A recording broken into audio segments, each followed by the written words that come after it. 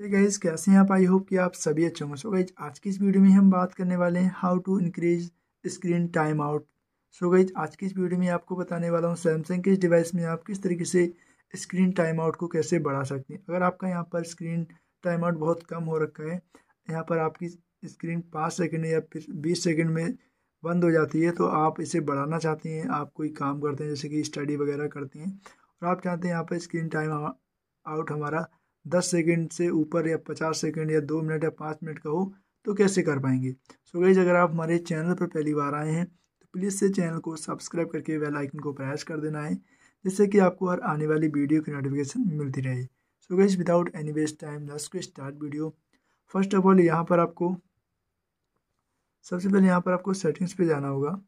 उसके बाद यहाँ पर आपको थोड़ा सा नीचे आना है और यहाँ पर जनरल मैनेजमेंट इस पर क्लिक कर देना है।